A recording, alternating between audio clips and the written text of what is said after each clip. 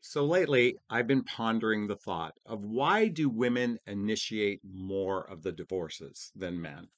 From what I understand, studies say 70% of divorces are initiated by women.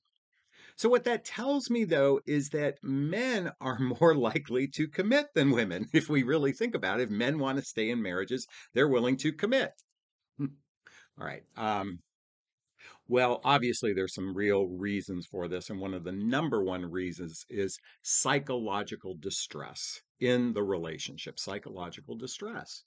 So while I'm not going to talk about marriage for right now, I want to go back to the beginning, taking, you know, uh, connecting the dots right back to the beginning of the dating process and to determine which person is capable of commitment and which person isn't capable of commitment. Because I think this is a deeper conversation that definitely requires some discussion. So I want to share something with you I wrote this morning. It's not a blog per se, it was just some thoughts I was pondering this morning. And it says, Ladies, you're fighting an uphill battle. The world of commitment is a mess because the inner world of emotional health is fractured, which causes a huge disconnect in finding a partner capable of actually committing to one another. Add to that the dysfunctional dating process we're currently living in. It's no wonder so many unhappy souls seeking tr- are, are seeking true love. It's no wonder there are so many unhappy souls seeking true love. Men and women, deep in their core, want to love, and yet only a select few are fully capable or ready to get there. It's time to change the narrative using knowledge, experience, and wisdom as your guide. It's time to use knowledge, experience, and wisdom as your guide. And that's what I want to lean into this conversation because, as I just shared with you, we are in a completely dysfunctional dating process today which is brought on by technology and why there's some amazing benefits to technology and and certainly just like the broken clock there are people actually connecting and falling in love with one another with through the use of technology. We have a much bigger issue to address to actually determine which person is capable of commitment from a healthy perspective because there's a lot of people capable of commitment in an unhealthy perspective because we just illustrated that the number one cause for most women to to initiate the divorce is emotional distress. So there are people, there are men capable of to commit. The real question is, are they able to commit at a healthy level? And if we're dealing with a with a population of of human beings suffering emotional discourse, emotional distress, mental health issues, unresolved childhood wounds and traumas, it's no wonder it's difficult to find a partner. And it is an absolute uphill battle. I don't want to blow smoke up your ass. Look, I know you can follow some of my contemporaries. And by the way, some of my contemporaries, I'm going to tell you, if they don't address in their coaching practice the emotional mental health issues out there, they're worthless. They are actual crap, okay?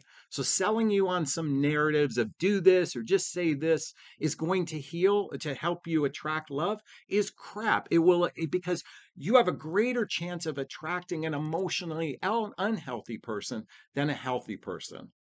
In fact, I'm here to say probably roughly 80% of the population, men and women alike, are suffering some deep, deep, deep wounds, unhealed wounds that causes them to have weak emotional skills and weak relationship skills.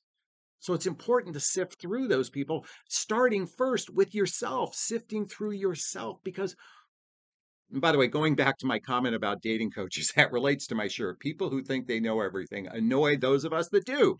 Now, I'm going to say that's rather egotistical on my part. I'm going to uh, say that. And yet, I'm here to be a voice to address this important issue of contemplating the dating process from the perspective of emotional and mental health. Because what are the blocks to love? What are the deep blocks to love?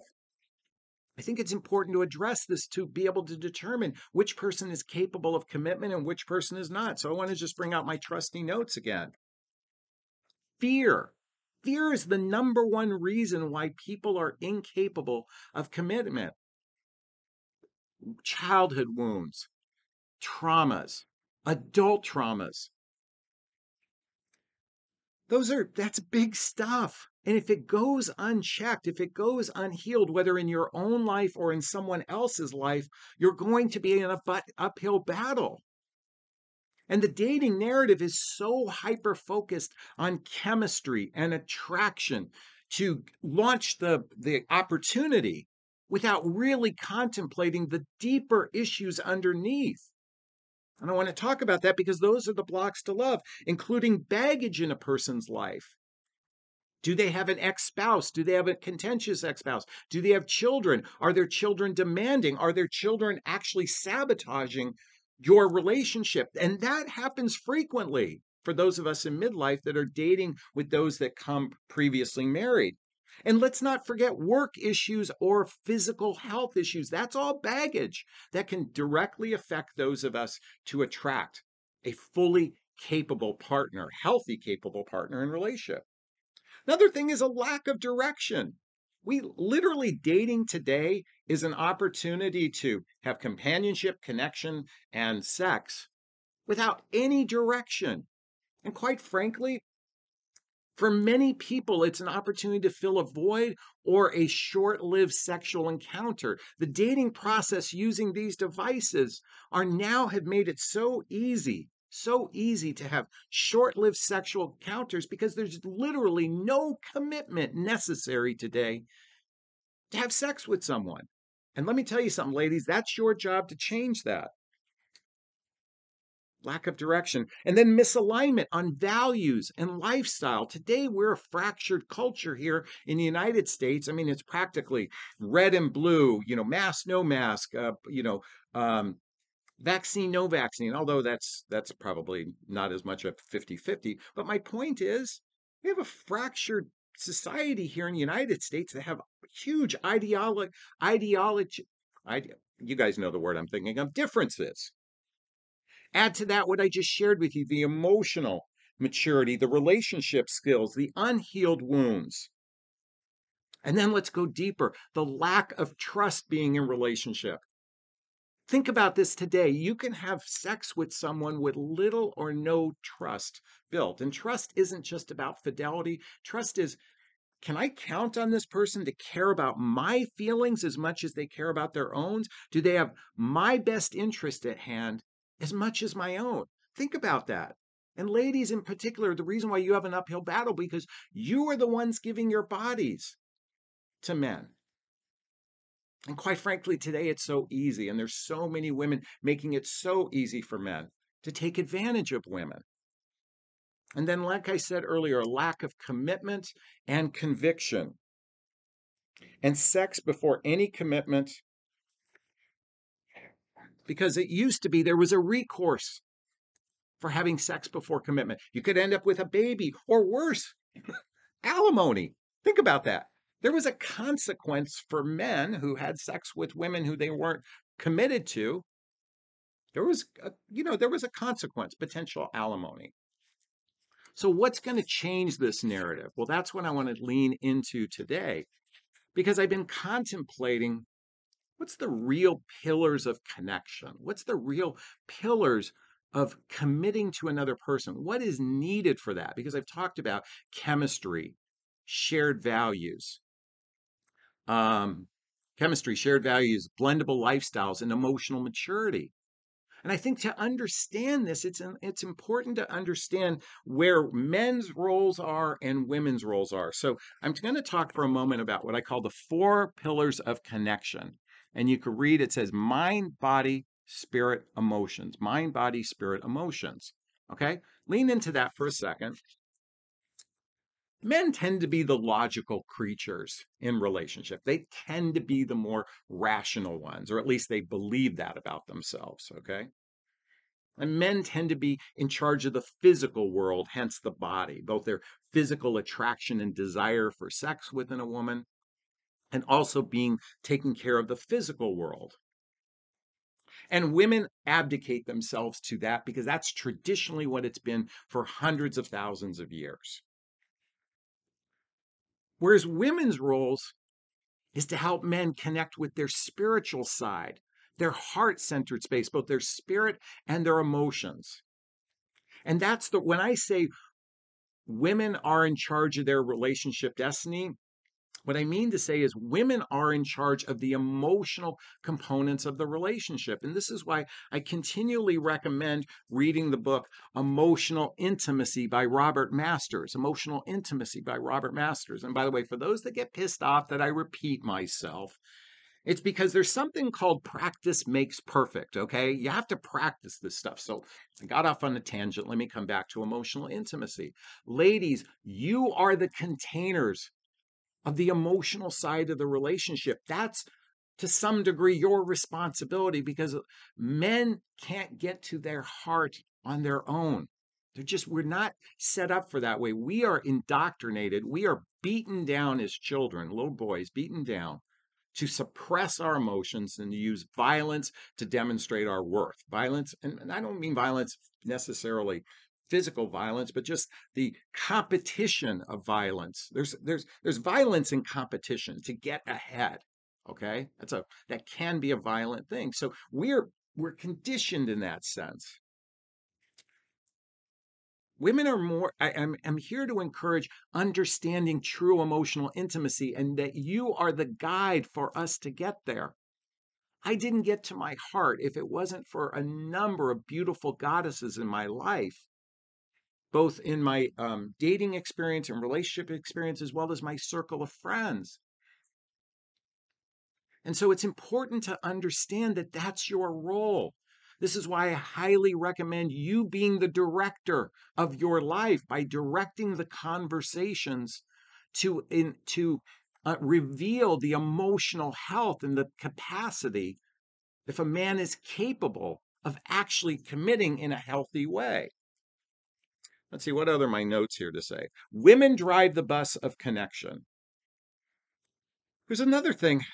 Women, I, I want to encourage you all to take charge of your lives because women inherently are agreeable you tend to be more agreeable than men. So it's one it's no wonder you give your power away to men. And so many of you give your power away to men. You just release it to men because you tend to be agreeable. And this is why i continually recommend the book why men love bitches and bitch stands for babe in total control of herself. Yes, this is an empowerment book. So you don't give your power away because you are meant to drive the emotional bus of the relationship. And yet, many of you are afraid to speak your truth, to speak your truth to a man because for fear that he's going to go.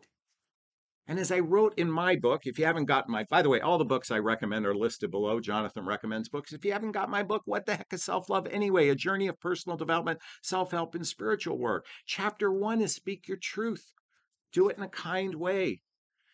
And chapter nine, if it's sincere and from the heart, you can't say the wrong thing to the right person. This is why radical honesty needs to be on the forefront of the early stages of dating and not the romantic way that so many humans have adopted. And yet, what happens? We have a 50% divorce rate here in the United States. Probably the other half are still married, half of them are miserable. We have a 65% divorce rate for second marriages and 75% for third. There, there's a reason for that. Remember, I said knowledge, experience, and wisdom? It's to understand what causes all this and maybe operate from a different narrative. I think it's important to begin a practice of having deeper conversations from the very beginning to understand another person. Because, as I said earlier, we are deep de- dealing with a population of really wounded human beings, men and women alike.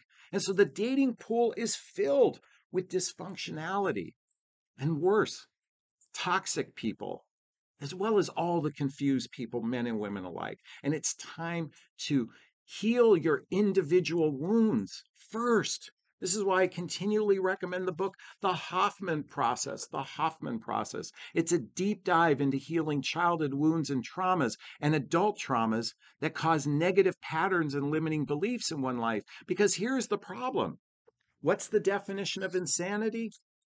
Doing the same thing over and over again and expecting different results. So, coming back to the men that will commit.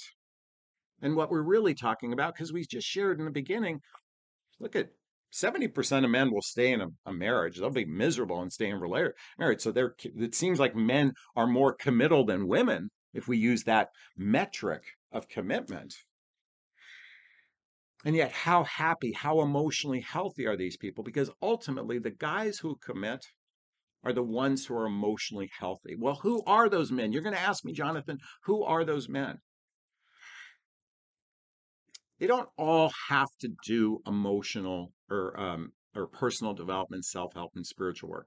Not all of them. Many men and women have been raised with really healthy homes, really, really, really healthy homes. Yet most probably have not.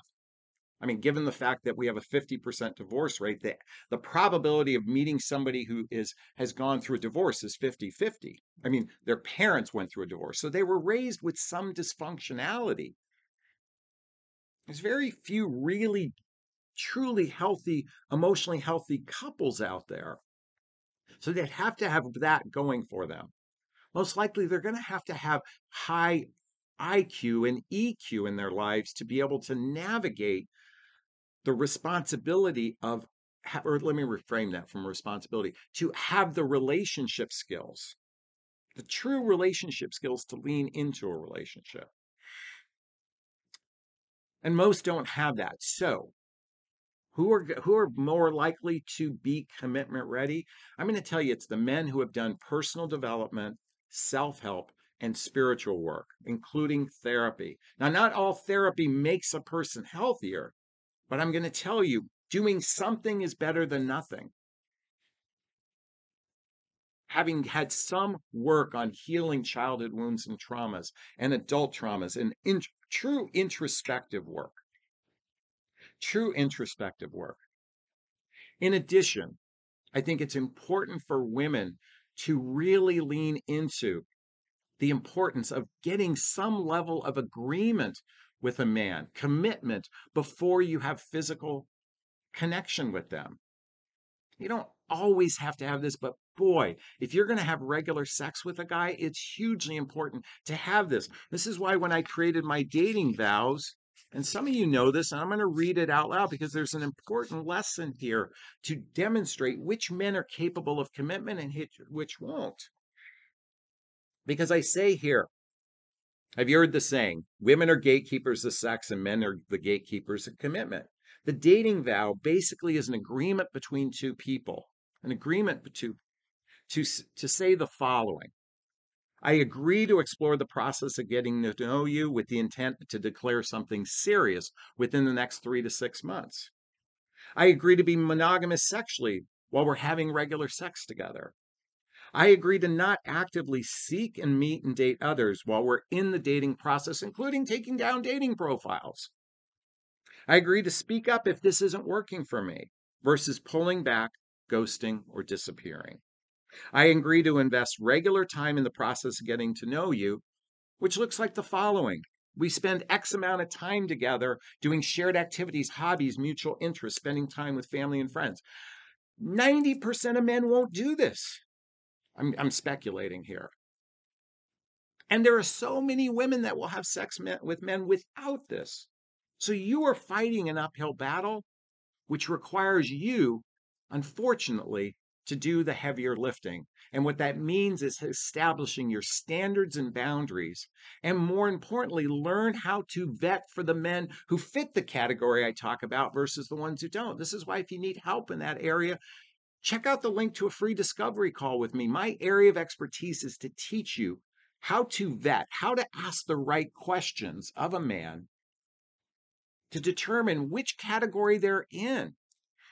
Now, quite frankly, you, you can throw a, dot, a dart and pretty much guess that 90% of men are in that dysfunctional category. And by the way, you women are no picnic either, okay? Did you watch the Amber Heard trial? You women are no picnic either. What's going to change this narrative? I'm here to say it's time to shift the narrative by first doing your own introspective work, your healing, and then begin to put yourself out there from the perspective of radical honesty, being in your empowerment, setting standards, setting boundaries, open communication, and you're going to lead the bus. Because remember what I said in the quadrinity men tend to be mind and body, and women are the spirit and the emotions. And if you really want to have that collective successful relationship, you have to help men connect with that spiritual side of themselves and, and more importantly, that emotional side, because men, just like yourselves, are deeply interested not interested, deeply desire to be loved because the number one emotional health issue facing almost everybody is I'm not good enough, I'm not lovable, and I'm not likable. That's the wound we all carry. And just like you, men want to feel that love. We just don't know how to get there. So I invite you to take the journey, do the work, follow the teachers that talk about the emotional health issues versus the rhetoric of just sitting back in your feminine and leaning to be claimed. All right, I think you get the gist of where I'm going. Is this resonating with you? I'd like to hear your thoughts. Post a comment. If this resonated with you, hit that like button. Share this video with friends. Hit the subscribe button to join my channel. I welcome you to watch my next video. I have no idea where I'm going next. Uh, but I hope you found value in this one. Please let me know. All right, I'm going to sign off this video as I always do. First off, giving myself a big, gigantic Jonathon hug of self-love. I'm going to reach into the camera and give you a hug of love if that's okay. I'm going to ask you to turn to someone, a pet, a teddy bear, a pillow. Here's a teddy bear. And give it or them a hug of love because hugs are a great source of love. And let's face it, we could all use more love in our lives. Thanks a bunch. Bye-bye. Bye-bye. Find the guys who'll commit.